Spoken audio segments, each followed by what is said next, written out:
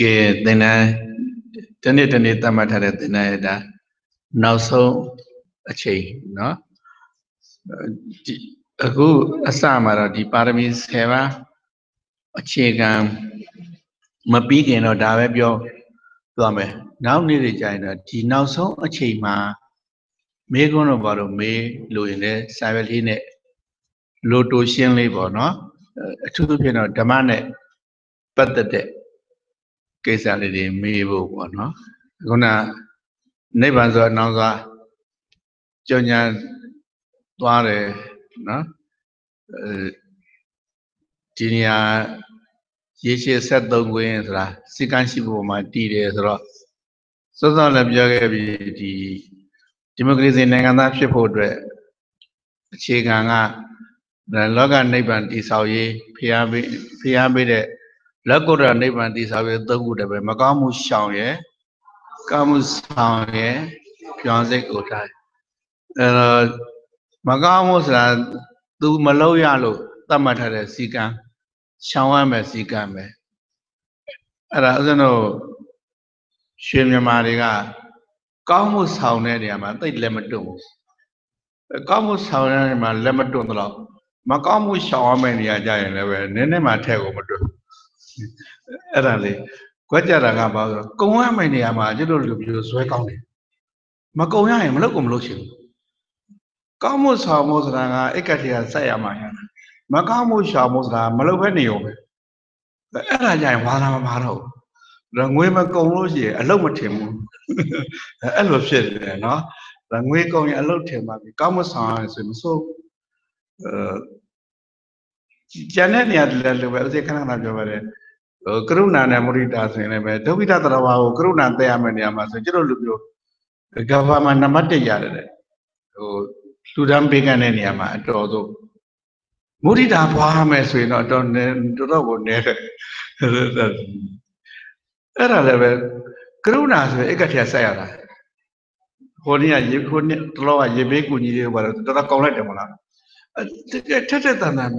မုဒိတာပွားဖို့ဆိုတော့တယောက်မှမပေါ့ဘ ယ်သူတို့ကြီးပွားတာလည်းမပြောဘယ်နဲ့လောက်တာညနဲ့လောက်တာနဲ့အဲ့တော့ဝမ်းသာမဲ့စာအတင်းဖြစ်နေဂျယ်စီတွေဖြစ်ကုန်တယ်အဲဒီလူမျိုးကငွေမကုန်ရင်အလုံးမထင်တဲ့လူမျိုးတွေ့နေကိုလည်းပဲစိတ်ကလိုက်တာလည်းဒါကထွေထွေထူးထူးဟုတ်ပါဘူးမလုတ်တင်တာကိုမလုတ်ဖဲနေရောဘာမကုန်ဘူးအဲ့တော့တတတတရကြရင်တော့မကုန်တဲ့ဘက်ကိုသိပ်ပါကြဒီနေရာလေးဟာအတော်တတတတရှိတယ်ဆိုရင်လည်းမလုတ်တင်တာကို မလုတ်ဖဲနေပြီးရုံလေးနဲ့ဒီနေရာလေးကိုယ့်အတွက်ခိုင်မြဲမှာပဲအဲ့ဒါလေးကိုအထူးပြောတော့ပါဒီနေ့တော့မေးခွန်းရလို့အထူးမရှိတော့စောစောကပါရမီကအစပဲရှိတဲ့နော်ဒါနပါရမီအကြောင်းပြောပြီး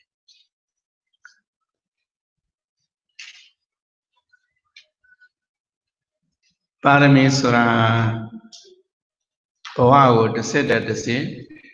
မြင့်တက်သွားအောင်လုပ်တာဆိုတော့ဘဝကို တစ်စစ်တဲ့တစ်စစ်နှိမ့်ကြသွားတာဟာဘာလဲဆိုရင်ဥစ္စာဘုရားဘာသာလည်းသိတယ်မကောင်းမှုအကုသိုလ်ကံပဲနော်အဲယေကေစီအကုသလဓမ္မာသဗ္ဗေတိအတော်ဘာခင်ကမဏိယာတဲ့အကုသိုလ်ဟုသမျှဘဝကိုနှိမ်ကြကြတဲ့အစင်လန်းတဲ့ယေကိစီကုသလဓမ္မတပ္ပေတိဥဒ္ဒံဘာကေငမဏိယာ ကုသိုလ်ဟုသမျှဘဝကိုမြင့်တက်သွားစေတဲ့အတက်လန်းနဲ့ပါရမီဆိုတာအစင်လန်းလား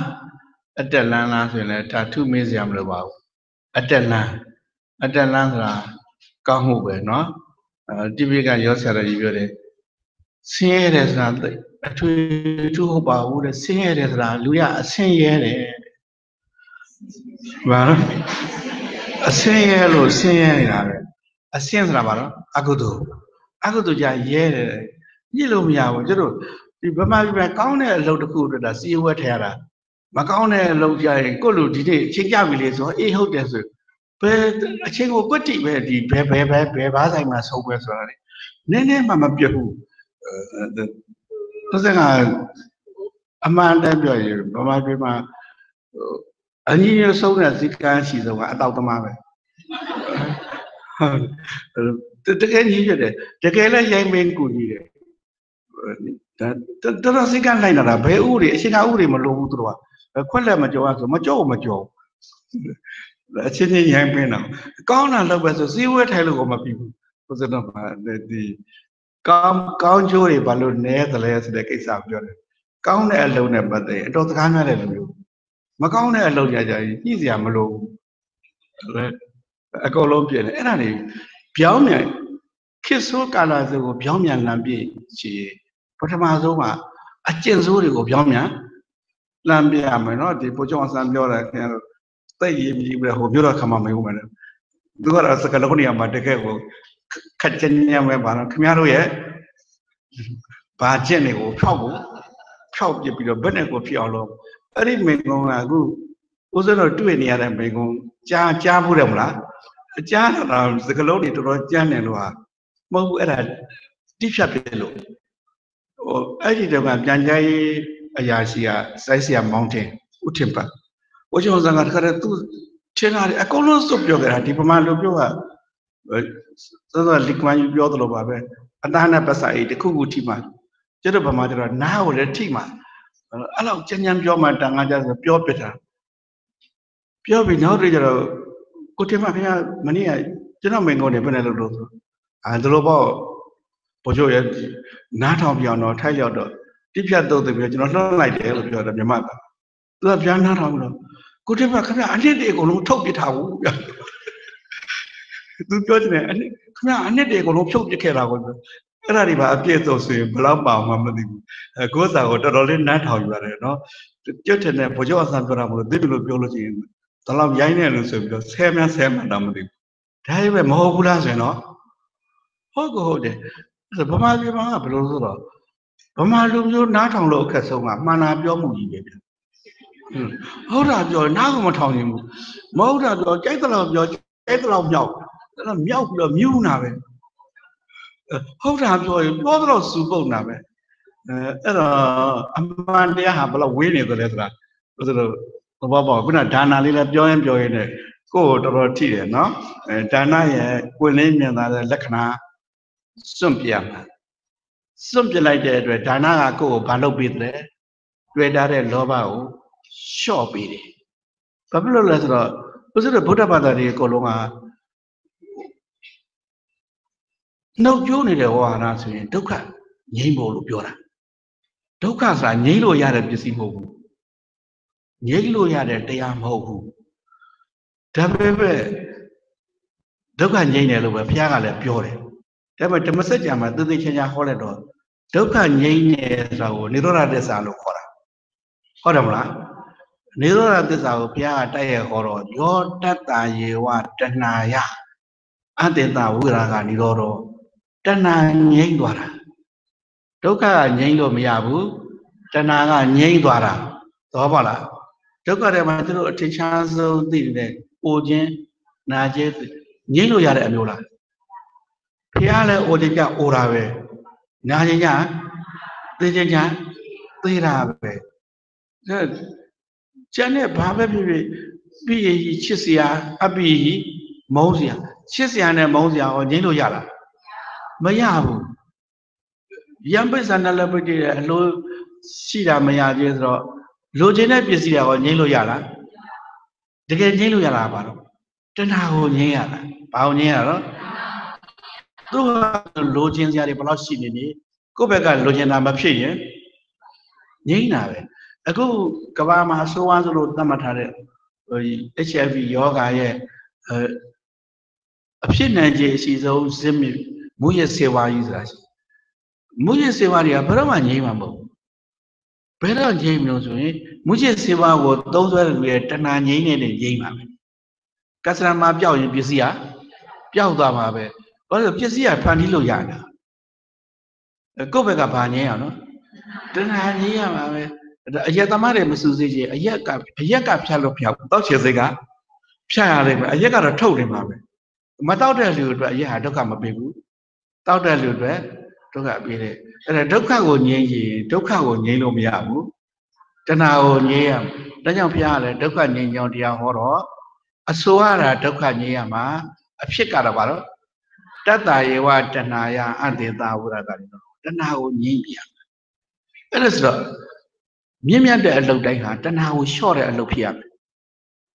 တဏှာကိုမလျှော့နိုင်ရင်ဒီလို့ဟာကောင်းသောအလုပ်လို့ဘယ်လိုမှကိုမဆိုနိုင်ဘူးလို့အဲ့လိုပြောမှာ လို့ဆိုတော့ကျွန်တော်ကဒီဒါနကုသိုလ်လုပ်တာကတဏှာတိုးပေးနေသလိုပဲနော်ဘယ်ဘက်ကတဆုပ်ကျညာဘက်ကတလဲဝင်ကျင်တယ်ဆိုတော့ဘာလို့တာနော်လောဘတိုးပေးနေတာလောဘလောဘတိုးပေးတဲ့အပြင်ဒေါသတိုးကလည်းပေးလိုက်သေးရဲ့ဗျနေ့အသက်ဆယ်ကတခါတော့ငါအသက်လွတ်ဖို့ဆိုတာကဒေါသတကြီးတဲ့ဖမ်းပြီးတော့ချုပ်ထားနှောင်ထားအောင်မှဖြစ်မှာ အဲ့ဒီပြီးမှပြန်လွတ်လို့ရမှာဆိုတော့ဒီသီလဆောက်တည်လဲဥစ္စတို့မှာဒေါသတိုးပေးတယ်ဒါနလုပ်ရင်လည်းလောဘတိုးပေးတယ်လောဘတိုးတာကိုဒုက္ခတိုးတယ်လို့ခေါ်တာလောဘယော့တာကိုဒုက္ခယော့တယ်လို့ခေါ်တာလောဘငြိမ့်သွားတာကိုဒုက္ခငြိမ့်သွားတယ်ဓမ္မစကြာအဲ့ဒါလေးဖတ်ကြည့်ဓမ္မစကြာတသုတ်ကိုရေးလဲလဲဆိုရင်ပြီးကသုံးပုံလုံးကြည်တယ်ဥစဉ်ကခုဒီဓမ္မကင်္ဂါထောင်နဲ့ အင်္ဂလိပ်လိုသင်မဲ့ပါဠိကောလိပ်ပါဥစဉ်ကသုတ်တန်ကိုပို့ချဘယ်သုတ်တန်လေးပို့ချဓမ္မစကြာတသုတ်ပဲပို့ချမှာဓမ္မစကြာတသုတ်နားနေပြီးကသုံးပုံလုံးလုံးဝနားနေတယ်အဲ့ဒါကိုအသေးစိတ်အဲ့ဒါပဲပြောမှာဘယ်နှစ်သင်ရမလဲ၃နှစ်သင်ရင်လည်းငါဓမ္မစကြာပဲသင်မှာကဲဟုတ်ပြီဒီနေ့သီလအကြောင်းလေးဆက်လိုက်မယ်နော်သီလပါရမီသီလဆိုတဲ့ဒီပါရမီ7ပါးမှာကျွန်တော်ဒါနသီလ နိခမပညာဝိရိယခန္တီသစ္စာဆိုတဲ့ဆယ်ခုလုံးမှာဥစ္စာတင်တယ်နည်းနည်းလေးဗုဒ္ဓဘာသာဝင်တဲ့စိတ်နဲ့နိခမဆိုတဲ့အကြောင်းနဲ့စိတ်ဒါနဆိုရင်သိတယ်သီလဆိုရင်လည်းသိတယ်ပညာဆိုရင်လည်းသိပြီးသားဝိရိယသိပြီးသားခန္တီဆိုတာလည်းသိပြီးသားသစ္စာဆိုတာလည်းရေးရေးသဘောပေါက်ပြီးသားဒီပဲအဋိဋ္ဌံဒါလည်းနည်းနည်းသိတယ်အဋိဋ္ဌံဝင်တယ်အဋိဋ္ဌံဝင်တယ်ဆိုတာကဝါတို့ တတ်တတ်လို့အဋိဋ္ဌံဝင်တယ်လို့ရှင်းမသီလအဋိဋ္ဌံဝင်တယ်ဒါလည်းလုံနေတာမေတ္တာအကြောင်းသိပြီးသားပဲအမြဲလင်းလာဆိုမေတ္တာပို့တာမယ်နော်ပြတယ်မဥပိ္ပခာဥပိ္ပခာလည်းထိုက်လျောက်သိပြီးသားပဲဒီကောက်ဥပိ္ပခာပြုထိုက်တာကောင်းပါလေငါတို့ကဥပိ္ပခာပြုလိုက်ပြီးစားဒီပါရမီ7ပါးထဲမှာတိတ်ပြီးတော့ဥစဉ်တော့လည်းစကလုံးရစိမ့်နာမှာပါဒါပေမဲ့ခုနပွင့်လင်းမြင်လာတဲ့လက္ခဏာတွေပျောက်လာပဲအခုသီလလေးကြောင်ပြောမယ်နော် သီလပါရမီတဲ့နံပါတ်2ကကသီလမှာဘယ်လိုမြင်လာတဲ့လက္ခဏာရှိရမလဲဆိုရင်ကုံလုံးနှစ်ပါးကိုစောင့်စည်းခြင်းလက္ခဏာရှိတယ်ဒီလူတယောက်သီလရှိတယ်ဆိုတာသူ့ကိုယ်ဆိုတာသူ့ကာယကံနဲ့လောက်သမျှတွေပေါ့ကာယကံသီလခေါ်တဲ့ဒီဒုစရိုက်တွေဘယ်လောက်ကင်းငယ်လောက်တယ်လဲဒါပဲနှုတ် ဝစီကံကပြောရင်လည်းပဲဝစီဒုစရိုက်တွေသိတယ်မလားအဲသူဘယ်လောက်ကင်းတယ်လဲအဲ့ဒီကင်းနေရင်သူ့နှုတ်ကပြောသမျှခုနလိန်ညာတာတွေဂုံတိုက်တာတွေဆဲရဲတိုက်ထွာတာတွေအတင်းဖြစ်နေမပါဘူးဆိုရင်ဒီပုဂ္ဂိုလ်ဟာဝစီကံသီလရှိတယ်ဆိုမြင်သားတယ်သူကံကံကိုယ်နဲ့ပြုသမျှပြုသမျှလည်းသူများကိုတပ်ဖြတ်ညှင်းဆဲတာဆိုသူများပစ္စည်းခိုးဝှက်တာတို့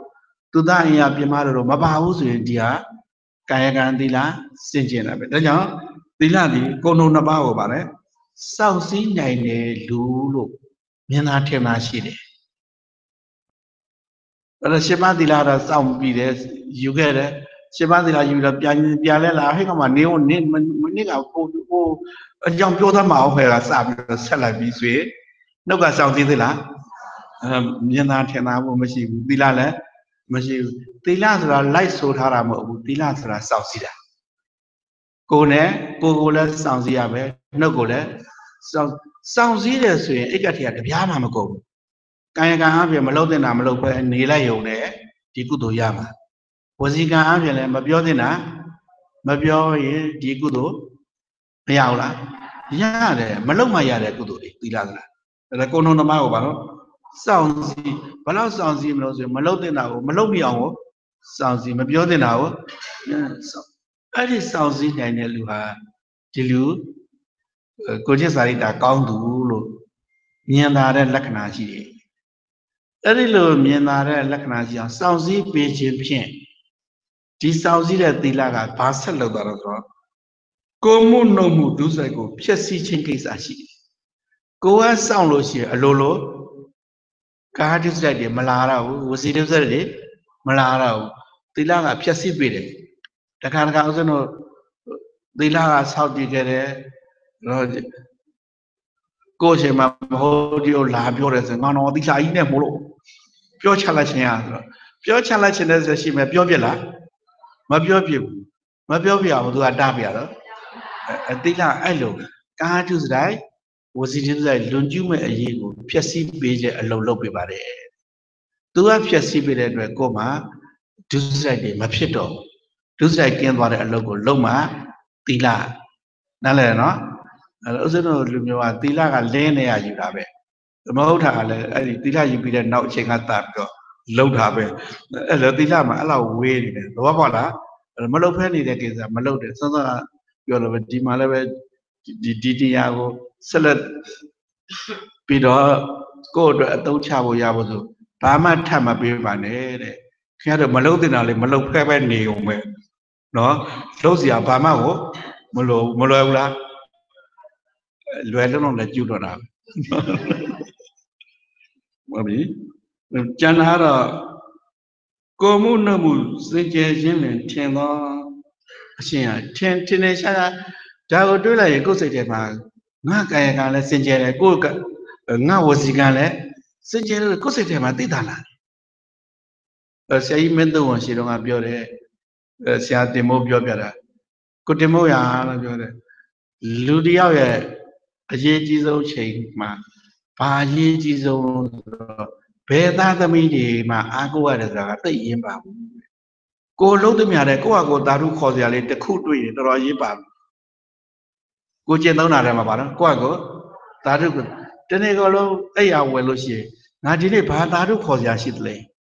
ကိုယ့်ကိုပြန်တွေးလို့ရှိလို့ရှိရင်ဒါတိတ်ကိုဟို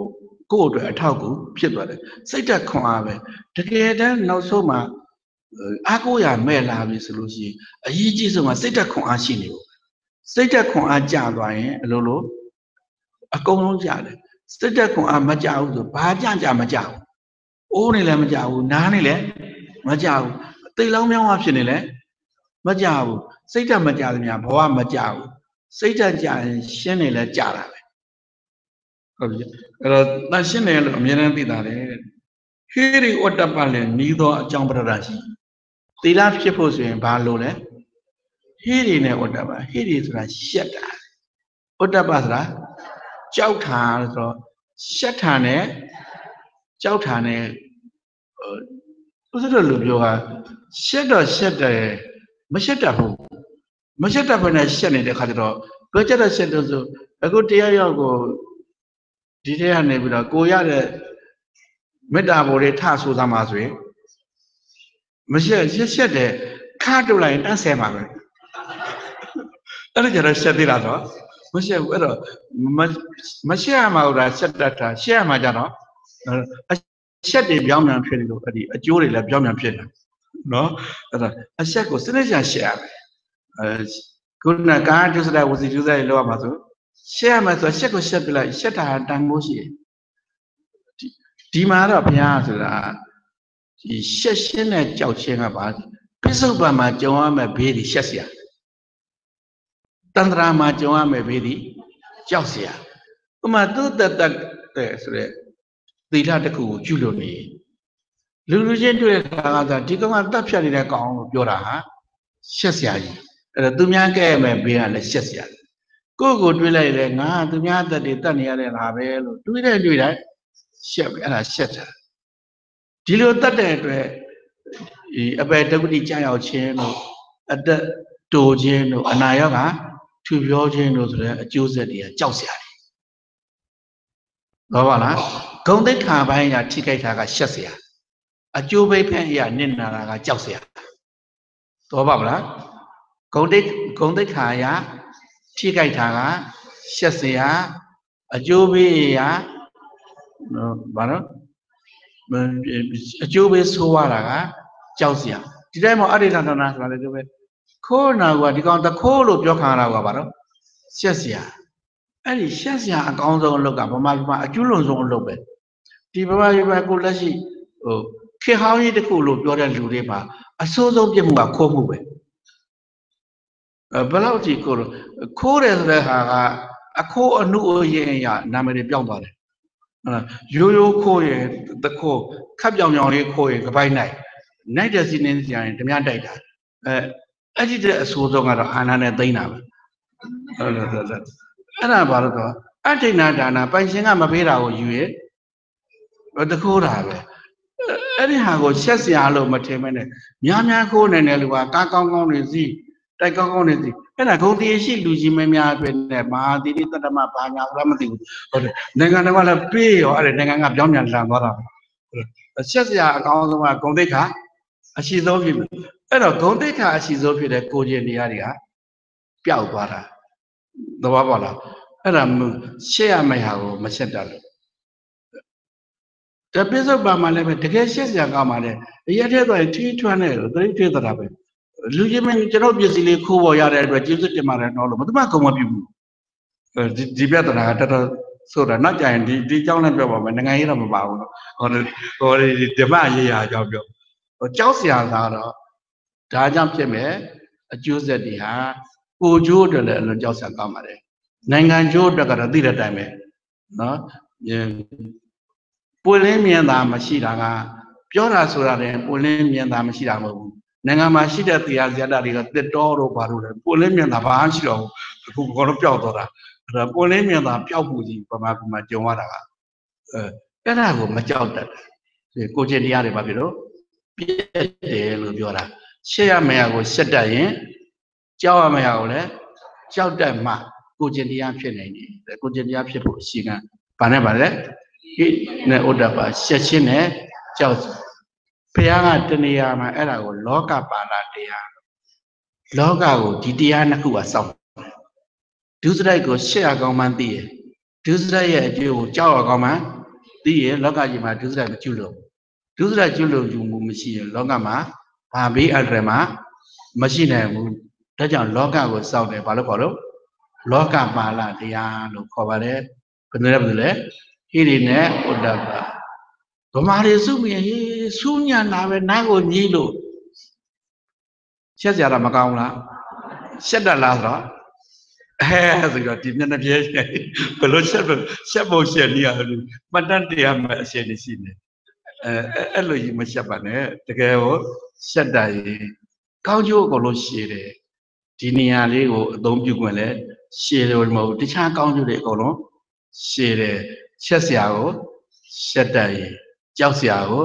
ကြောက်တတ်ရင်လို့ဘုရားကဒီလိုပြောတာနော်ဒီကသီလပါဠိအဲ့လိုဆိုရင်ရပါတယ်ဒါနသီလပြရတာပါလား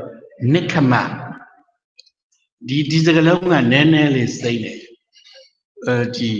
နိခမဆိုတဲ့စကလုံးကိုအကြမ်းများဖြင့်တော့ဥစ္စရဗုဒ္ဓဘာသာတွေကဘယ်နေရာမှာတည်းတောထွက်တယ်လို့သိတယ်ဘာလို့သိရောတောထွက်တယ်ဟုတ်တယ်မြတ်စွာဘုရားပါရမီတွေဖြည့်တာကိုကြည့်လိုက်တော့လေဟိုပထမဆုံးသူမိတာတထေသာဘဝတွေကတောထွက်ပြီးယသိရဟန်းလောက်တာကစလိုက်တာပဲအခုနောက်ဆုံးဘုရားဖြစ်မဲ့ဘဝကျတော့လေ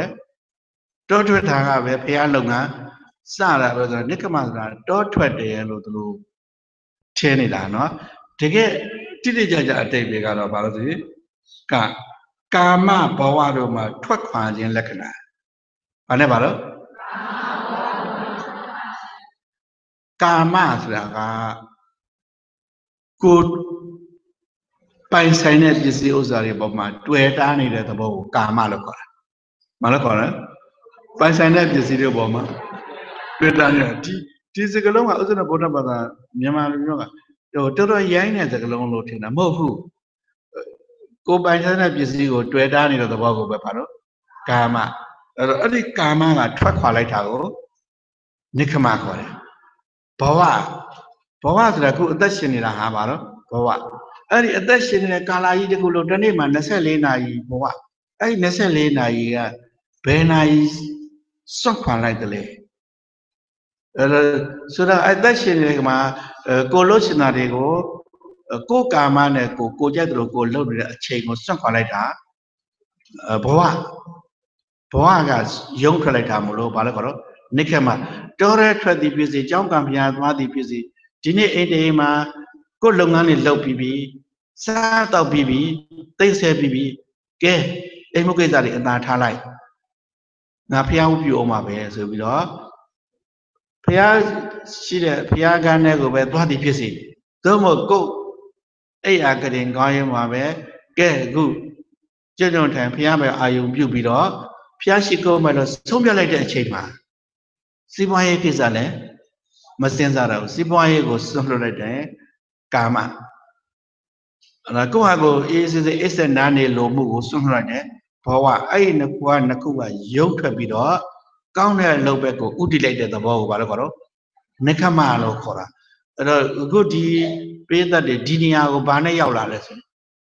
နိခမနဲ့ရောက်လာတာကိုယ်စီးပွားရေးကိစ္စတွေကိုစွန့်ကပ်ပြီ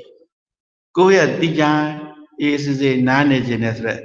ဘဝရဲ့အချိန်လေးကိုစွန့်ပြီးတော့ဒီနေရာကိုရောက်တာဒါကြောင့်ပါရမီအစနိခမကအဲပါရမီအစပါတော့နိခမမပိုင်ကျန်တဲ့ပါရမီဖြစ်လို့ကို မရဘူးလို့ပြောတာတော့ပါလားအဲ့တော့အဲ့အဲ့လိုစက်ခွာလာတာကိုနိခမလို့ဖြစ်တယ်ခေါ်တယ်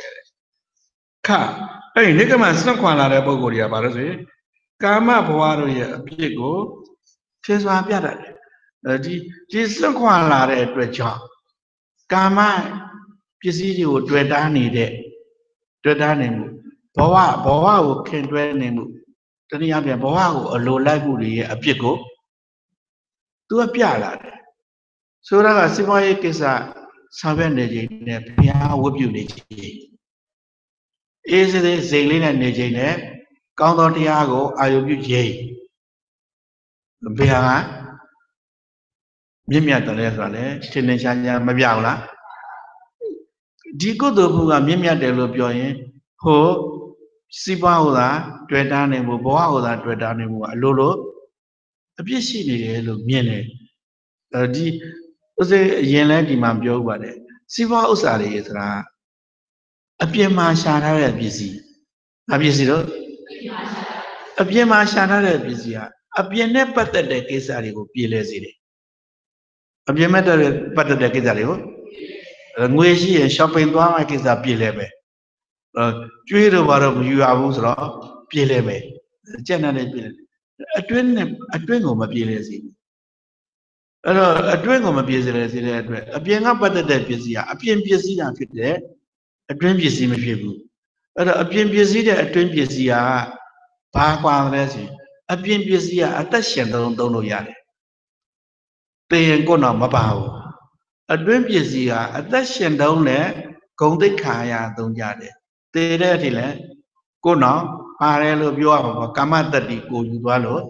ရတယ်အဲ့တော့ဒီနိဗ္ဗာန်ရောက်တဲ့အထိကိုပိုင်ဆိုင်တယ်လို့ပြောလာအောင်ကိုယ့်ကိုကောင်းကျိုးဆောင်ရွက်နေတာကိုဘာလို့ခေါ်နော်အတွင်းပစ္စည်းခေါ်တယ်အတွင်းပစ္စည်းဆိုတာကာမနဲ့ဘဝကိုယုံပြီးမှရှာလို့ရတယ်မယုံရင်ရှာလို့မရအဲ့ဒီလိုဒီကာမဘဝတို့ရဲ့အပြစ်ကိုထင်စွာမြင်လာခြင်းအကျိုးရှိတယ်လို့ပြောတာဟုတ်ပါလားအဲ ပြီးရင်နမခေကျန်တာတော့ကိုယ်စိတ်ထဲမှာကာမဘဝတို့ကိုရက်ွယ်ပြုလို့သောဖြစ်လင်ထင်တော်ရှင်ဟာရှိဆိုတာကိုယ်စိတ်ထဲမှာတွေးလိုက်လေငါဟာအခုဒီနေရာလေးရောက်နေတယ်အခုအချိန်ငါဒီစီးပွားရေးကိစ္စတွေကိုမျက်ွယ်ပြုခဲ့တာပါပဲလို့ကိုယ့်ကိုတွေးလာတော့သိတာနိုင်တယ်ကိုယ့်ကိုသိတာတဲ့သဘောကပစ္စုပ္ပတသူများသိတာတဲ့သဘောကလက္ခဏာသူများသိတာတဲ့သဘောကလက္ခဏာ ကိုယ့်ဟာကိုယ်သိတာတဲ့သဘောကပစ္စုပ္ပတန်လို့ခေါ်တယ်နမလို့တော့အဖြစ်လေထင်သောပစ္စုပ္ပန်ရှိကိုညာထဲမှာထင်ထင်မြင်သိတာလာတဲ့သဘောလို့ပြောတာပစ္စုပ္ပန်ဆိုတာဘာလဲကိုညာထဲမှာထင်မြင်သိတာလာတဲ့သဘောဒါနအမှုလုပ်လိုက်ပြီဆိုရင်အဲမညှိတွယ်ခြင်းလေညာ၌ထင်တယ်ဆိုတော့ငါဒီပစ္စည်းပေါ်မှာညှိတွယ်မှုမရှိတော့ဘူးလို့ကိုယ့်ကိုသိလာတယ် သိလာမှုဆိုလို့ရှိရင်ဘာလဲကိုယ်နဲ့နှလုံးလင်တန်ရှင်းခြင်းလင်ထင်သောရှင်ရရှိငါကာယကံဝစီကတန်ရှင်းတာပဲလို့အဲ့လိုထင်လာတယ်အခုလည်းပဲနိခမပါရမီလုပ်လိုက်ရမယ်ကာမဘဝတော်နဲ့မြက်ွယ်ပြုလို့သောအဖြစ်လေထင်သောရှင်ရမြက်ွယ်ပြုလို့ဆိုတော့သူတို့ကိုထားပြခဲ့နိုင်တဲ့သဘောရှိတယ်ထားပြခဲ့လို့လည်းဒီရောက်တာမထားရင်ဒီကိုမရောက်ဘူးအဲ့လိုထင်တဲ့ပစ္စုပ္ပတန်ရှိတယ်ဒီ ဒီဒီနှစ်ခုကတော့ကိုညာထဲမှာမြင်လာတာပေါ့နောက်ဆိုတော့ကာမဘုရားဘဝဝေးမှာထိတ်လန့်တတ်သောတာဝေကဉာဏ်လင်ညီတော်သောကြောင့်ရှိ၏တဲ့ကာမဂုဏ်ကိုသာတွေ့တာနေရင်ဘဝကိုသာတွေ့တာနေရင်ဒါလူပြကျိုးနှက်တယ်တာနာကျိုးနှက်တယ်လို့ကိုမဆိုနိုင်ဘူးလို့အဲ့ဒီဉာဏ်လေးကိုထိတ်လန့်တဲ့တာဝေကဉာဏ်လို့ခေါ်တယ် တာဝေကဆိုတာတကယ်တော့ကြောက်နေတာလန့်နေတာမဟုတ်ဘူးဘေးအပြစ်ကိုမြင်တတ်တဲ့အတိလေးအဲအဲ့ဒီအတိလေးရှိမှစွန့်လာမသိရင်မစွန့်ဘူးဒါကြောင့်အဲ့ဒီအဲ့ဒီအတိထိလန့်တဲ့ဉာဏ်ဟာနိက္ခမဖြစ်ဖို့အတွက်အနိကဆုံးအကြောင်းဖြစ်ပါတယ်တဲ့ဒါလေးပြောနောက်တပြေးပြေးလေးလေးပြန်ဖတ်ကြည့်ပါဦးဒါလေးတွေကိုနော်ပြန်ဖတ်ပြီးတော့မရှင်းတာလေးတွေထပ်မိပါဦးဇင်းက အကြမ်းမြင့်ဒါစကပြေအတိတ်ပဲပြောနေတာပါနော်ဒါတော့နောက်ကပညာပညာဆိုတာဘာလဲဆိုရင်ဟုတ်မှန်သောသဘောကိုထိုးတွင်သိခြင်းလက္ခဏာပညာဆိုတာသိတတ်တာပဲလို့ပြောတာပညာဆိုတာဘာလို့သိတတ်တာမှပညာဥစ္စာတော့ဒီဟိုဆင်းရဲတဲ့နိုင်ငံတွေမှာပထမဆုံးကဘွဲနဲ့ပညာနဲ့ကိုမသိဘူးမကွဲဘူးအတန်းအောင်တာဘွဲရတာနဲ့ ပညာရှိတာနဲ့မကွဲဘူးပညာရှိများလို့ပြောတာဆိုရင်ဘုန်းကြီးဆိုရင်လည်းဘုန်းကြီးဘာသာဘွဲတွေအောင်တယ်လူစင်လည်းဘာဘွဲတွေရတယ်အဲ့လိုဆိုတော့ဘွဲကိုပညာထင်တဲ့အတွက်ပညာရှိကိုမကြိုးစားဘူးဘွဲရဖို့ကြိုးစားတယ်မြန်မာပြည်မှာပညာမသိဘူးဘွဲသိတယ်တာပဲတာဆို15ရက်လောက်သွားအောင်းလာပြီဒါမင်းဘာဖြစ်လို့သူက BA ဒါမင်းလွယ်လိုက်လား BA ရပါလား BA ပညာရှိတယ် ပညာရှိကဘာရှိရလဲအဲ့ဒါတော့မသိဘူးတဲ့သူအဲ့ဒီပညာရှိဆိုတာဘာမှကိုမသိဘူးကြံတဲ့ဟာတော့ဘာမှတော့မမင်းနဲ့ဘာမှကိုမသိဘူးအဲ့ဒါဘာမှမသိရင်အဲ့ဒါဘွဲပဲပညာမရှိဘူးအဲ့ဒါဘယ်လိုဖြစ်လဲဆိုင်းဖုန်းနဲ့ရောင်းကုန်မကွဲဘူးဘွဲဆိုတာပါလေဆိုင်းဖို့သူသိတဲ့ပညာကရဟန်းကိုသူ့တရင်ကဒါဒါရှိရဟန်းအလုံးလုံးလို့ဖြစ်တာခဲ ABS ကိုအင်္ဂလန်ဒီ US ကြိုက်တယ်လို့တက်ဒါပေမဲ့သွေးစားကြည့်တော့ဖျားလိုက်တာမသိဘူးဆိုရင်ဘာလို့လို့ရမလို့ဘာလို့မရဘာလို့တော့အဲ့သိတာကပညာအဲ့ဒါဥစ္စာနောက်စီမှာအခုအချိန်ကြီးတော့ပညာရေးစနစ်လုံးလုံးမရှိဘူး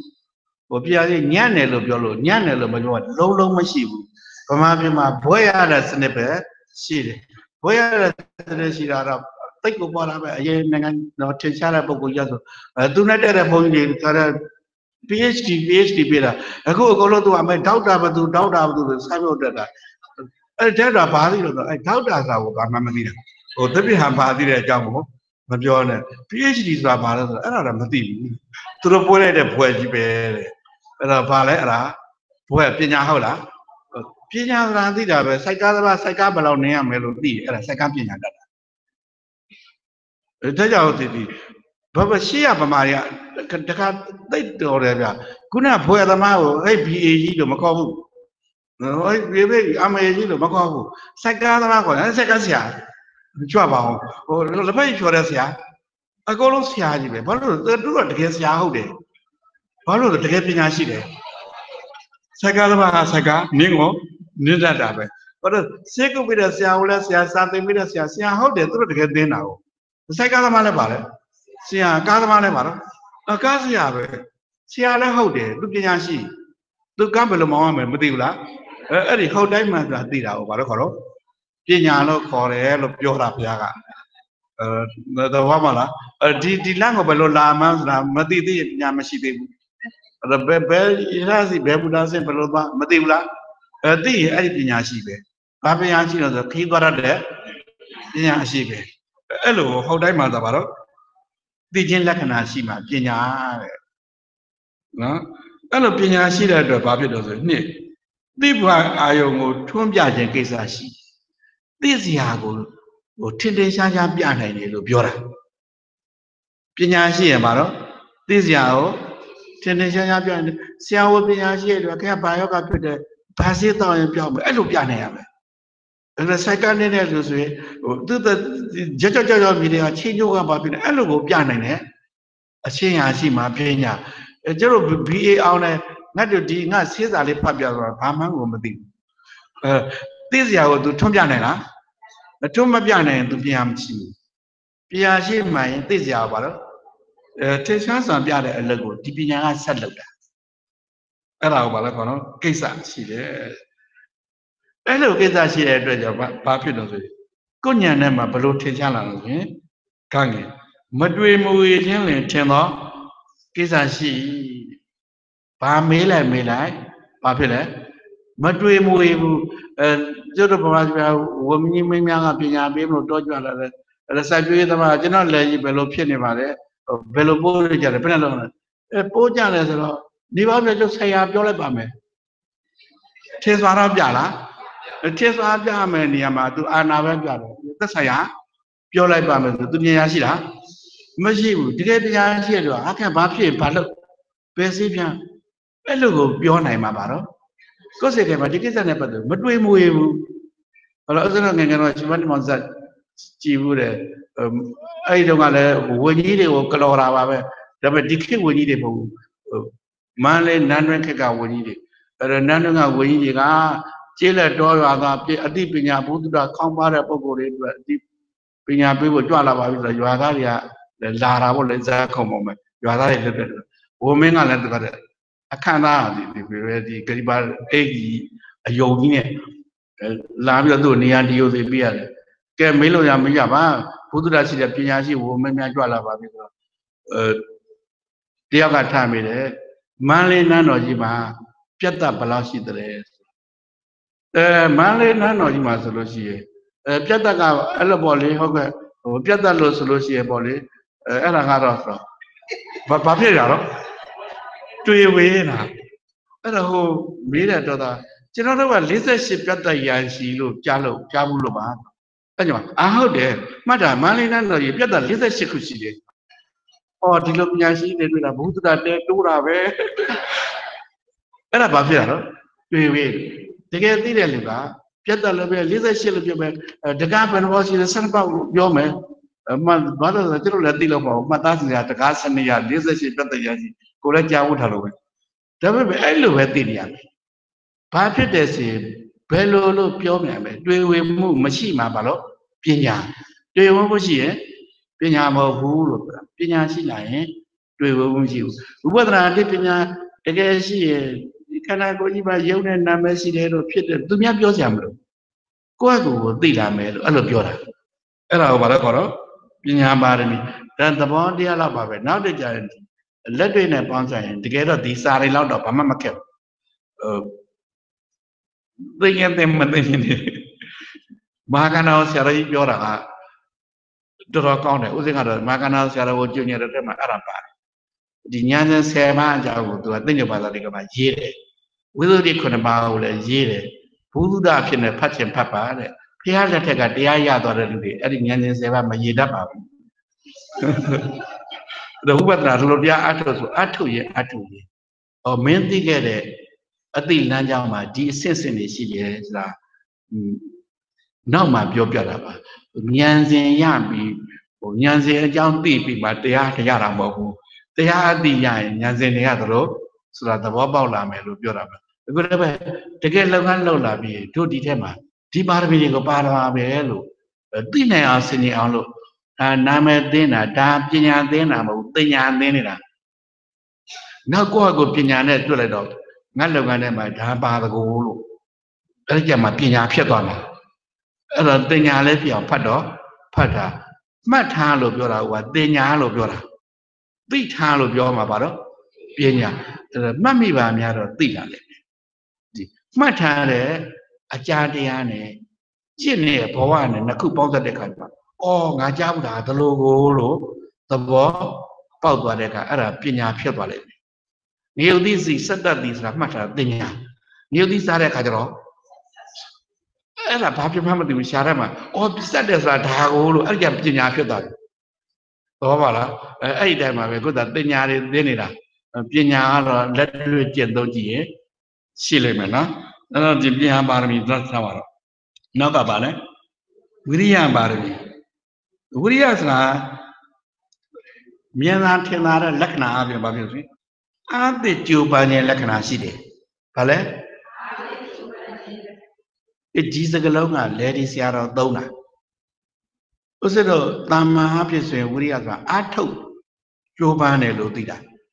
ဆရာတို့ကအထုတ်ကြိုးပမ်းရုံနဲ့မရဘူး ဘာဖြစ်ရနော်အာသစ်ကြိုးပမ်းတယ်အာသစ်တယ်ဆိုတော့အာဟောင်းတာနဲ့အာသစ်ထာနဲ့ဘာထုလဲအခုနအာထုတ်တယ်အခုလည်းအာထုတ်တယ်နောက်လည်းအာထုတ်အောင်ပါပဲအဲ့တော့ဥစ္စတို့ဒီအလုတ်လုတ်နေတယ်ပေါ့အဲ3နာရီလောက်ကြာသွားပြီဟာ3နာရီလောက်ရှိပြီဘာမှမဖြစ်သေးဘူးလားဆိုရင်အဲ့ဒါဘာဖြစ်လာလဲအာသစ်ထာလားအာဟောင်းတာလား လွန်ခဲ့တဲ့စလုတ်တဲ့အချိန်ကစတွက်နေတော့အဟောင်းနေတွေ့တော့အခု3 3နာရီတော့ရှိပြီလို့ပြောတဲ့အခါအာဟောင်းနေတယ်အာဟောင်းရင်အာကြသွားတယ်အာဟောင်းရင်ဘာပြောတော့အဲအာသစ်ထာအလုတ်လုတ်နေ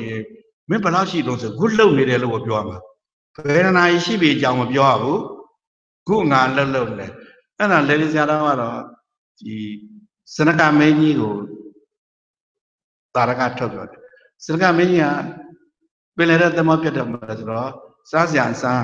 သူထောပတ်တွေပါလေထောပတ်တုတ်တယ်ဆိုတာရေမတင်အောင်လို့ဟိုထောပတ်တုတ်တယ်ခေါင်းနိုင်ထိတ်ကနေပြီးတော့ငမန်းလွတ်လောက်အောင်ထိုးချလိုက်တယ်သူကူးတာပဲကူးနေတဲ့အခါမှာမေခလာနာသမီးကလာမိတယ်မင်းအခုကူးခဲ့တာဘယ်တော့တောင်ကြာပြီမင်းသင်္ဘောနဲ့တော့ဘယ်တော့တော့ကွာပြီဒါပေမဲ့ပင်လေကန်းကြီးကအများကြီးရှိရနေတာ မင်းအပေါ်ပဲလုံးမနေနဲ့လို့ပြောတယ်အဲ့ဒါမေခလာနာသမီးကအားပြစ်ထားလားအားဟောင်းတာလားအဲ့ဒီစရကမင်းသားကဘလောက်ကြာခဲ့ပြီမတွက်ဘူးဘလောက်ကြာတယ်လည်းမတွက်ဘူးငါအားရှိပြကူးမယ်ပဲအချိန်နဲ့ဟာသူ့အတွက်အစ်စ်ပဲအဲ့လိုအားတက်နေတာဟောပါတော့ဝိရိယပါရမီလောက်ထားလဲသူတို့လို့ဆိုလို့စေးစားလာတော့၃ရက်တောင်ရှိပါပြီဘာမှလည်းထုပါဘူးဆိုရင်အဲ့ဒါအားကြသွားတယ်ဘာလို့ကြလာလဲ အာဟာအဟောင်းကြီးပဲပြပဲလွန်ခဲ့တဲ့၃ရက်ကိုသူသွားတွေ့တာအခုဒီနေ့ဘယ်ချိန်စေးစားဆိုဘယ်ချိန်စေးစားရင်အဲ့ဒီအာဟာပါလဲအသက်ပဲအဲ့တော့အာတက်တဲ့လူအတွက်အချိန်ကြတယ်ဆိုတာမရှိဘူးအလောက်ပဲရှိတယ်အားဟောင်းတဲ့လူအတွက်ကအချိန်အချိန်ကိုတွက်တယ်အဲတွက်ရှင်မကြိုက်ဘူးဆိုရင်ဘာဝကြီးမှာဆိုလုပ်ငန်းလေးလုပ်ကြည့်တယ်တလားတော့ကြိုးစားလဲကစ္စလာမကမတိုးဖြုတ်လိုက်တာကောင်းပါလေဗျာဘာဖြစ်သွားလဲဘာလို့ကြာလဲ အားဟောင်းလို့အားကြတာအားသေးရင်ဒီနေ့ဆိုရင်6နာရီတော့ငါဆိုင်ဖွင့်မယ်ည6နာရီပိတ်ပဲသူပိတ်လိုက်ကစ္စလာမလာတာမလာတာလာတော့ရောင်းလိုက်မလာရင်မရောဒီတိုင်းပဲဆိုရင်နောက်အချိန်မှန်ရင်လူလေးစားတယ်အလူလေးစားရင်အလုံးဖြစ်သွားတယ်အဲ့တော့အရေးကြီးဆုံးကဘာလဲအာသစ်နေဖို့လိုတယ်ဘာဖြစ်လဲနော်အာသစ်နေဖို့လည်းအလုတ်ကိုစိတ်ဝင်စားအကျိုးကိုစိတ်ဝင်စားတယ်လူတွေမှာအလုတ်နဲ့ အကျိုးနှစ်ခုရှိတဲ့အခါမှာတော်တော်များများအကျိုးစိတ်ဝင်စားတယ်အလုတ်ကိုစိတ်ဝင်စားဘူးလုပ်ငန်းသွားလျှောက်ပြီဆိုအမေရိကန်မှာပမာတွေသွားလျှောက်ပြီဆို benefit ကဘယ်လောက်ရှိသလဲတစ်ဖက်ကိုဘယ်လောက်ခွင့်ပေးမလဲစကားများကောင်သွားကွာမှခန့်တော့ဟိုကအလုတ်ဝလုတ်တဲ့ဒီခုအစမ်းခံတယ်ဆိုအဲ့ဒါပဲသူဘယ်လောက်ကြိုးစားတယ်ဆိုတဲ့ပုံမှာမူတည်တာသူစိတ်ရဟမှာတမီငယ်တော့သူတို့မောင်နှမသုံးယောက်သလုံးဆရာအောင်ဖြစ်တယ် သူကျတော့အသက်က31နှစ်ရှိပြီသူတို့က1 to 10ထွက်လို့ရှိရင်တော့အလောက်ကခေါ်တယ်လို့သိရှိတယ်အဲ့ဒီမဝင်ဘူးဆိုရင်တော်တော်နဲ့အလောက်မပေါ့အဲ့ဒါသူ့ကိုဘာလို့ခေါ်လဲ6လခိုင်းကြည့်တာဒါကသူ့အရင်အကိုနဲ့အမလောက်ခဲ့တဲ့ဆေးရုံမလို့ဟောရှိတယ် तू ကလှုပ်လှုပ်တာပဲကြိုးစားတယ်အခုခုတော့ခန့်လိုက်တယ်ပြီးခဲ့တဲ့ဂျွန်လာမှာအလုပ်ရတယ်တစ်နှစ်လောက်ဟိုအစမ်းခံတယ်လကတော့ပေးပါတယ် အဲ့ဒီမှာနောက်ထပ်တစ်ယောက်ရှိတယ်သူကျ SPA ရအောင်ဆိုတော့တခြားဆေးရုံမှာဟိုနှစ်နှစ်တောင်လို့ရှိတယ်ဒါပေမဲ့အမှတ်ကောင်းကောင်းမရဘူးကျွန်တော်ကြိုးစားတာပဲတဲ့နှစ်နှစ်တောင်ရှိဘာမှမထူးလို့မလုပ်ချင်တော့ဘူးအဲ့ဒါဘာဖြစ်သွားလဲဘာလို့လဲအာဟောင်းသွားကြိုးစားပြနေရမှာတစ်ဖက်လူကမြင်လာအောင်ဘာဖြစ်လို့ကြိုးစားပြနေရမှာအမြဲတမ်းအားသိငါဒီနေ့ဒီလူမဦးစင်းနှမပြောတယ် သူများတွေကလူပါ၈ယောက်စမ်းပြတယ်ဒီပြီးတော့73ယောက်စမ်းနေတယ်ဘယ်နှစ်ယောက်ရှိပြီတော့မတွက်ဘူးနောက်တော့လူမလာတော့တိုင်းသူစမ်းပြတယ်အဲ့တော့သူကတလောက်တောင်စမ်းတယ်ဆောင်ရွက်ပေးတယ်ဆိုတော့ပန်ရှင်ကကျေနပ်တော့သူ့အလုပ်ခိုင်းတာအဲ့တော့ငါဒီနေ့၈ယောက်တောင်ရှိပြီသူများတွေက6ယောက်ပဲလောက်လည်းဖြစ်တယ်ငါ10ယောက်ကြီးတော့ဖြစ်ပြီတကယ်သတ်မှတ်ထားတဲ့စံချိန်ကဘာလို့၈ယောက်ဆိုရင်တနေ့တာတာဝန်ကျေတာပဲအဲ့လိုတွက်နေရင်အားပါဖြစ်သွားတယ် ကြာသွားပြီဘာလို့ကြာလဲအာဟောင်းတယ်သူကတစ်ကပြန်စနာတစ်ကပြန်စတယ်သူတစ်တယ်မတက်ဘူးအဲ့တော့ဘယ်နာရောက်ရောက်ကိုလောလောဆယ်လှုပ်နေတာအလုပ်ပဲအဲ့လိုဖြစ်နေတဲ့အာကိုဘာလဲခေါ်တော့အာသစ်ဘဝတိုးတက်ခြင်းအာသစ်နေရဘဝတိုးတက်ခြင်းဘာဖြစ်လို့အာသစ်အဲ့ဒီအာသစ်အောင်ကြိုးပမ်းနေတဲ့ဒီမှာဝိရိယပါရမီတကယ်ဘဝကိုတိုးတက်မြင့်မြတ်စေတဲ့လုံလဝိရိယမျိုးခေါ်တယ်လို့ပြောတာ ဒါကြောင့်ဘာလို့အာသစ်ကြိုးပမ်းခြင်းလက္ခဏာရှိတယ်တဲ့အဲ့လိုအာသစ်နေရင်ဘာဖြစ်လဲအဲခါကစိတ်တက်ခိုင်အောင်ထောက်ပံ့ပေးတယ်စိတ်တက်ဘာလို့ဇနကမင်းသားစိတ်တက်ကြမသွားဘူးဘာလို့မကြလဲသူကအမြဲအာသစ်နေလို့တချို့ဒီမှာလှုပ်လှုပ်တဲ့စိတ်တက်ကြားတယ်စင်ကာပူနေတဲ့လူချင်းသူတို့သူများတွေက3နှစ်လောက်နဲ့အလုပ်ရတယ်တို့4နှစ်လောက်စီလို့လဲပုံမှန်လို့မရဘူးဆိုစိတ်ဓာတ်တွေဘာဖြစ်လို့ ကြားတယ်စိတ်ဓာတ်မခိုင်မာတော့ဘူးဘာလို့မခိုင်မာတော့အာမသိလို့မခိုင်မာတာအာသိရင်ခိုင်မာတယ်အဲ့တော့ဒါကြောင့်အာသိအောင်ကြိုးပမ်းတဲ့လက္ခဏာလို့ဆိုတဲ့ထင်သာမြင်သာလုပ်နေတဲ့ဘုရားစိတ်ဓာတ်ခိုင်မာအောင်ထောက်ပံ့ပေးတယ်ဒီလူဘယ်တော့မှစိတ်ဓာတ်မကြတော့ဘူးစိတ်ဓာတ်မကြရင်ရုပ်လည်းမကြဘူးကျတော့ဗမာစကားတောင်ဆိုလို့ရှိရမလားစိတ်စိတ်ပြိုရင်ပါဘူးလားအကိုနုတယ်ဆိုတာအဲစိတ်ထောင်းရင် ကိုကြည်တယ်အဲ့တော့တချို့ကြည်သွားတယ်တချို့နုပြိုသွားတယ်အင်္ဂလိပ်စကားပုံဆိုလို့ရှိတယ်မလားအခက်အခဲနဲ့တွေ့တဲ့အခါတချို့ဂျိုင်းတောက်ဝယ်ပြီးတချို့တောင်မှန်ပေါက်သွားပြီတချို့ပါတော့ဂျိုင်းတောက်ဝယ်သွားပြီတချို့ကပါတော့အခက်ခဲခက်ခက်ခဲပြမလို့ချင်တော့ပါဘူးဘာဖြစ်သွားလဲရိုင်းတော့ဝယ်သွားဒီခက်ခဲငါလွန်အောင်ကိုကြိုးစားပြင်မယ်ဆိုရင်ကြိုးစားတဲ့ကဒါထုံးပေါက်သွားတယ် ဒါဘာဖြစ်တော့အဲ့တော့အခက်အခက်ခဲတာလူအရေးချင်းကိုစမ်းတတ်တဲ့မှတ်ကြောက်ပဲအဲ့ဒီမှတ်ကြောက်မှာပြုတ်ကျသွားရင်တော့ဂျိုင်းတော့ပဲတင်သွားရင်တောင်းပါမယ်အဲ့တော့လောကမှာဂျိုင်းတော့ဝယ်ရတဲ့လူတွေဒီလာတဲ့လူတွေမှာလည်းဂျိုင်းတော့ဝဲပြန်သွားတဲ့လူတွေရှိပါလိမ့်မယ်အတောင်ပေါက်ပြန်သွားတဲ့လူတွေလည်းရှိပါလိမ့်မယ်အဲဒါခုဒီမိုဒီမိုကရေစီနိုင်ငံကြီးလို့ဖြစ်တဲ့အခါမှာတော့ဒါတွေအကုန်လုံးငြိမ့်သွားမယ်လို့မအောင်မင်းနဲ့ဂျိုင်းတော့ဝဲတဲ့လူကဂျိုင်းတော့နဲ့ပဲဖြစ်မှာပဲအ တောင်မှန်ပေါက်တဲ့လူကတောင်မှန်ပေါက်ခွင့်ရှိတယ်အခွင့်အရေးအပြည့်ပေးမှာကပဲရှိတယ်လှုပ်ပေးမှာတော့တခုမှမပါဘူးအဲကိုကဝိရိယအတ္တကြွပါမှုမရှိရင်တော့မင်းကဂျိုင်းတော့ပဲအတ္တကြွပါရင်မင်းကအတောင်ပေါက်ပဲအဲခုလက်ရှိအခြေအနေမှာတို့ကအတောင်ပေါက်နေခြင်းတဲ့လူတွေအတောင်ပေါက်ခွင့်မရှိခဲ့လို့တချို့ဒီရောက်တချို့အမေရိကန်ရောက်အဲအဲ့ကြတော့အတောင်ပေါက်တယ်တော်တော်ပြန်နိုင်တာပဲတော်တော် နောက်ဆိုရင်တော့အတောင်ပေါက်ဖို့အတွက်နိုင်ငံခြားကိုလေတဲ့ဝဲစရာမလိုကိုယ်နိုင်ငံကိုလည်း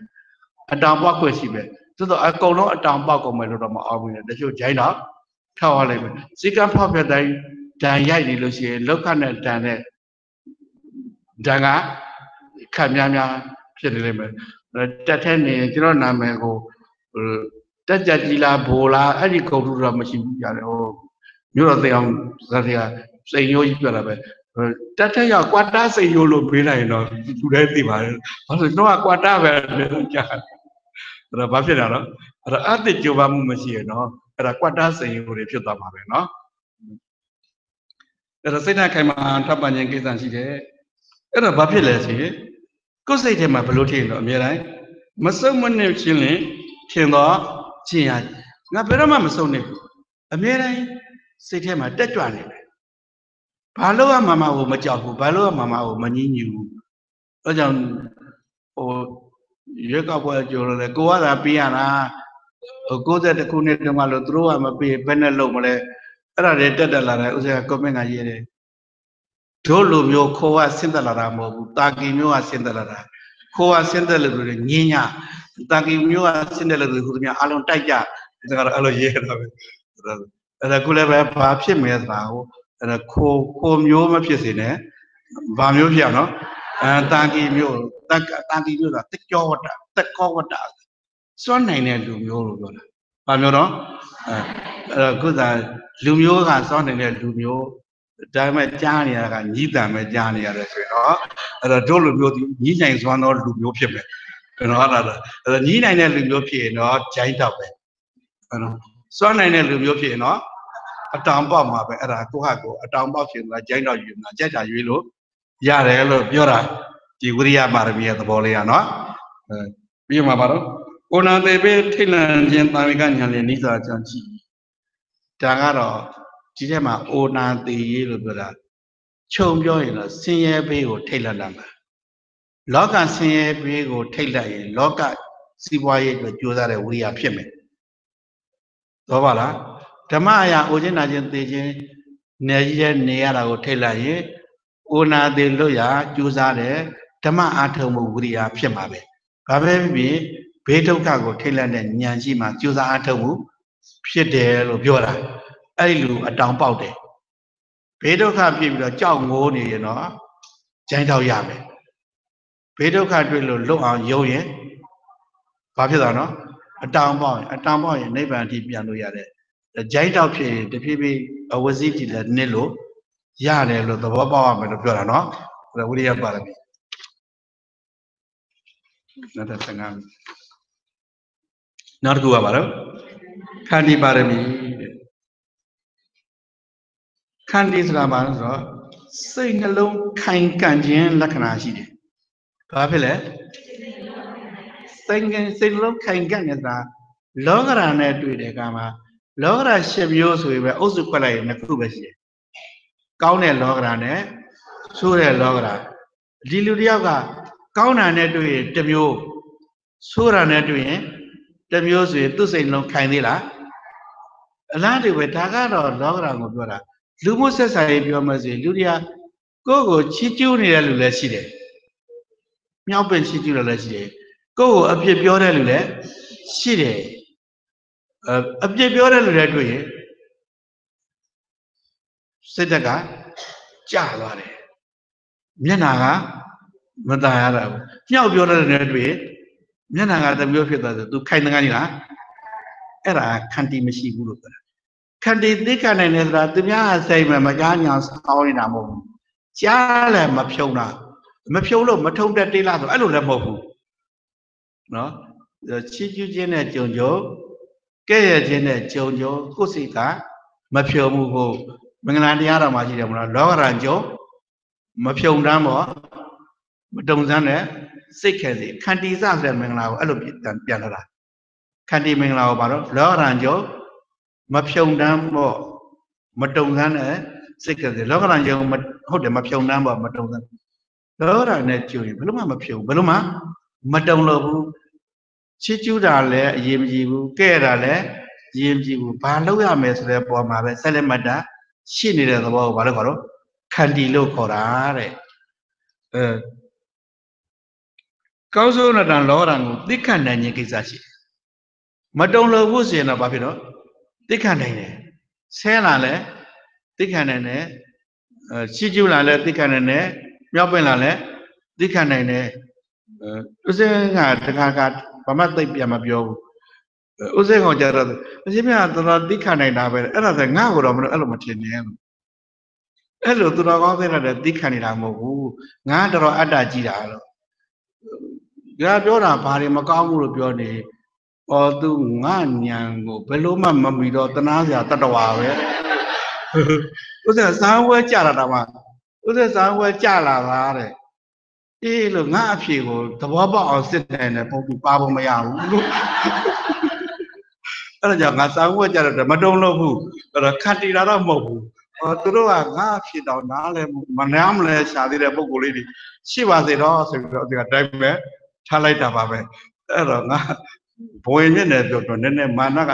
တော်တော်ကြီးတယ်အဲ့တော့ကြီးတဲ့အတွက်သူများတွေကတော့ငါသူတော်ကောင်းထင်တာကပေါ့ငါမတန်လို့ကိုပြန်မပြောတာ အဲ့တော့ဘာလို့လဲဆိုသူနဲ့နှိုင်းရင်သူနဲ့ကိုယ်နဲ့အတန်းတူသွားမှာပဲအဲ့လိုကအတန်းအညိမခံနိုင်ဘူးငါသူနဲ့ဘယ်လိုမှကိုမတူဘူးမတူရင်တမ်းမညိဘူးတမ်းမညိရင်ထက်မတက်ဘူးထက်တွေ့ရင်သူနဲ့တန်းကအလိုလိုညီပြီးသားတယ်အဲ့ဒီနည်းနဲ့လည်းခံတည်သိခံနိုင်မကိစ္စမရှိဘူးကိုယ့်ဘက်ကတော့နည်းနည်းမှမရောဘူးစကားအဲ့တော့သူကသူတော့ဒီရတဲ့အချောင်သူတော်ကောင်းလို့ထင်တဲ့ပုဂ္ဂိုလ်ကထင်သေးတယ်မကိစ္စမရှိဘူးအဲ့ဒါကြတော့သူထင်တာပဲလေကိုကမြောက်ပေးတာမှမဟုတ်ဘူးနော် ဘာဖြစ်လဲကောင်းစွန်းတဲ့လောကဓာတ်ကိုသိခံနိုင်ခြင်းကိစ္စရှိမှခန့်တိတိတ်ကိုလိုတယ်နော်อืมအဲ့တော့ဘာဖြစ်လို့ဆိုတော့ဘယ်လိုပြောပြောမတုတ်ပြန်ခြင်းဘူးစိတ်ထဲမှာတုတ်ပြန်ခြင်းစိတ်ကိုမရှိတော့ဘူးဒါကြောင့်မတော့ရန်တုတ်မပြန်တိခံခြင်းလင်ဖြစ်သွားခြင်းရန်တုတ်မပြန်လို့တော့သူ့ထက်ပြောင်းနေတဲ့လက်ကသူတို့ခါခါပြောပါတယ်ဟိုလမ်းကအမိုးသမားကဆိုဒီအမိုးသမားထက်ပြောင်းနေသမှနဲ့ကွာ သူနဲ့တန်းကိုမတန်းတွက်ကြည့်ရင်အတိပ္ပယ်နှစ်ခုရှိတယ်ကိုယ်ကုံကိုမြင့်တွက်တဲ့မာနတန်လေးလည်းနည်းနည်းပါတယ်သူနဲ့တန်းညှိမခံနိုင်လို့တကယ်ပဲသူ့ကိုထက်ကိုမတွက်တာတကယ်တော့တိခံတီးရအဲ့သဘောမျိုးပဲအဲ့ဒီဒီနေရာမှာလက်ဒီစရိယဇတ်ဇတ်တုတ်တွေတခုပြောပြတယ်ဗျာဒီခန္တီရဲ့အရေးပါမှုဟိုဖျားလောက်မြောက်မင်းဖြစ်စေကအလုံးစနဗုဒ္ဓဘာသာတွေကြားပါတယ်6ထဲကြာရတဲ့ပုံနာကိုလေ ပုံနာကိုဒီမြောက်မင်းကခက်ခက်ခဲခဲဆွဲတင်ရတာပါ6ကြီးကအတူတရားတောင်နဲ့တယ်ဆိုတော့နွယ်ကျိုးယူသွားတယ်မြောက်ဆိုတော့ခုံတယ်တော့သူကတဆင့်ခုံတယ်ပြီးမှအဲ့ဒီအထစ်ကိုရောက်ပုံနာကိုဆွဲတင်တယ်တစ်ထောက်နာတယ်အဲ့လိုနေတင်တာအပေါ်လည်းရောက်မြောက်လက်ချီကုတ်လက်ပန်းကြာစောစောကအားတက်နေတော့ကမောဟမှမသိဘူးပြီးပြီလို့ဆိုတော့ငါကိစ္စပြီးပြီဆိုတော့အာဟောင်းလိုက် အားလည်းဟောင်းရောအားကြာပင်မနော်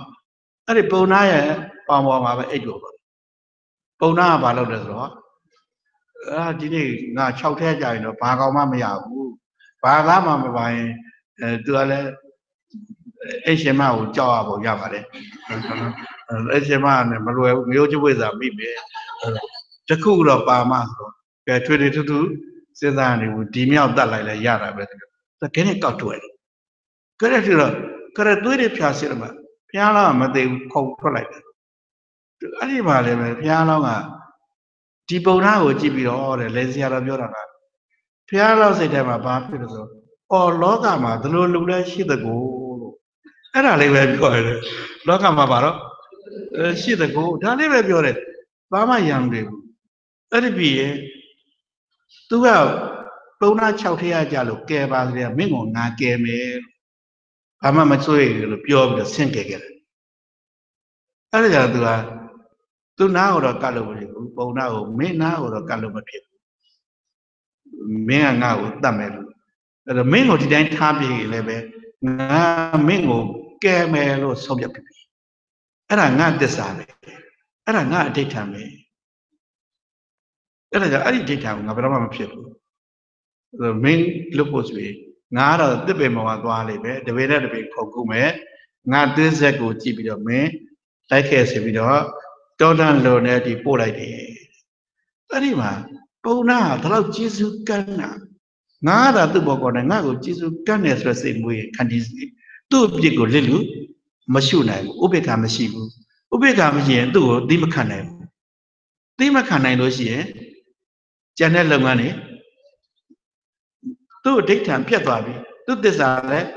ပြတ်သွားပြီအကုန်လုံးပါရမီအကုန်လုံးပြတ်တယ်ဒါကြောင့်ပါရမီမှာတဲ့လေဒီဆရာတို့ကြီးကခန္တီဒီဟုသောမိခင်ဥပိ္ပခာဒီဟုသောဖခင်နှစ်ခုရှိရမယ်ပါရမီဆရာမမှာခန္တီကအမိနဲ့တူတယ်ဥပိ္ပခာကဘာတော့အဖနဲ့တူရတယ်တဲ့မိဘနှစ်ပါးမှာရှိသောသားသမီးသည်လူရမဝင်တော့လူလားမမြောက်နိုင်ဘူး ခန္တီနဲ့ဥပေက္ခမရှိရင်ကျန်တဲ့ပါရမီဖြစ်လို့မရဘူးစီခုနဇက်လေးကိုပြောပြတာအဲ့လိုကဘုရားလောင်းတာအတိမခံနိုင်ခဲ့လေးလေးရှိတဲ့ဥပေက္ခကမရှိခဲ့ရင်ပါရမီလုံးကမှမိဘမဲ့ဖြစ်သွားမိဘမဲ့ဖြစ်လိုက်တာနဲ့စောစောကမင်းကိုငါကဲမယ်ဆိုတဲ့ဂရိလည်းပြတ်သွားပြီအဲ့ဒါအဋိဋ္ဌံလည်းပြတ်တယ်သစ္စာလည်းပြတ်သွားတယ်ဆက်လက်ပြီးတော့ဒီသူ့အသက်ကိုကိုယ့်အသက်ဆွတ်ပြီးတော့သူ့အသက်ကို ကဲတင်တဲ့ဒါနလုပ်ငန်းလည်းမရှိတော့ဘူးအ ਨੇ ဆုံးသိမခံနိုင်ဘူးဒီကောင်ငါ့ကိုတတ်တဲ့ကောင်တော့နေအဲ့ဒီအချိန်မှာဖျားလောင်းမြောင်မယ်ငါပုံနာကိုတတ်မယ်ဆိုရင်ဘာလက်နဲ့မှမလို့ကြားရှိတဲ့နေရာကိုသွားတယ်မင်းဒီကတော့တန်းတန်းသွားလိုက်ပါကွာအေးစီးစီးရောက်ပါလိမ့်မယ်လို့ပြောလိုက်ရတယ်မပြီးဘူးလားပြီးတယ်သို့တော့တစ္ဆာကတော့ပြတ်သွားပြီဘူးသားဖြစ်သွားတော့မယ်အဲ့ဒီဟာတွေမလုပ်ဘူးအဲ့တော့သီလလည်းလုံတယ် ဘသူကစန့်ချောက်ပြီဆိုရင်ခန္တီနဲ့ဥပေက္ခာဆိုပါရမီမှာခန္တီနဲ့ဥပေက္ခာအဲ့လောက်အရေးကြီးတယ်ဥပေက္ခာအဖနဲ့တူတယ်ခန္တီကမိနဲ့ဒီမှာတချို့မအောင်မြင်ဘူးဆိုရင်မိဘမဲ့သွားတာပဲဘာလဲဆိုတော့အခက်အခဲကိုသိခံနိုင်တဲ့ခန္တီမရှိဘူးဆိုရင်လည်းလောကစီစဉ်လည်းအကုန်လုံးလောကချမ်းသာလည်းအကုန်လုံးပြတ်တာပဲလောကရဲ့တိုးတက်ကြောင်းအလုပ်လဲလောကပါရမီတွေ ဓမ္မမှာတိုးတက်ကြောင်းလို့ဆိုရင်ဓမ္မဘယ်ပါရမီဆိုခန္တီနဲ့ဥပိ္ပဥပိ္ပခါဆိုတာပါဝင်ရင်ကိုကကဲ့ခြင်းရှိမွန်းခြင်းကိုလက်လူရှုထားလိုက်ရမယ်အဲလက်လူရှုမှာသိခံနေတဲ့ခန္တီဖြစ်တာဥပိ္ပခါနဲ့ခန္တီကအတွဲလိုက်ပဲအဲပါရမီမှာအမေတဲ့အဖေလို့ပြောတယ်ဒီလောကနဲ့ဆိုရင်တော့အကျဉ်းလင်မယားပေါ့အကျဉ်းလင်မယားဆိုဒကာကြီးတော့သုံးတယ်မလားနှစ်ကို ဒစိတ်ပဲကိုကလည်းနှစ်ကိုစိတ်ကတော့ဒစိတ်ပဲလို့ဟိုစားတဲ့ရေတုံးကပေါ့လေအခုတော့လည်းဟုတ်ချင်မှာတော့ဟုတ်တော့မှာပေါ့အမေရိကန်မှာဆိုဒီစကပူကရှုတဲ့တရုတ်လေးလည်းများရှိတယ်စိုးသူတဲ့အရင်ဒီမှာအင်ဂျင်နီယာလာလုပ်တယ်အဲ့ဒါပြောတာသူ့မျိုးသမီးကပြောတယ်တဲ့နင်းငါစားပေးတော့မှအဲ့လိုဟုတ်ပေါက်ပါတော့အပေါက်မစိုးပါဘူးပါဇက်ကပြတော့ပြတော့ ပြောလို့တယ်နင်းအရင်လိုမဟုတ်တော့ဘူးနော်ဒါပေမဲ့အရင်လိုမြတ်ဟုတ်နေရမယ်ဘာပြောလဲငကိုတစိမ့်ဆိုရင်ဒီခန္တီနဲ့ဥပိ္ပခါလည်းအဲ့လိုပဲအမျိုးနှမျိုးကွဲနေမယ်တပေါင်းနဲ့ပဲလိလူရှုနိုင်မှာသိခံလို့ရတယ်လိလူမရှုနိုင်ရင်သူရှုရင်ချက်ကိုလိလူမရှုရင်ခန္တီတဲ့သိခံမှုမရှိဘူးအဲ့တော့နှစ်မျိုးမှာတစိတ်သေးကို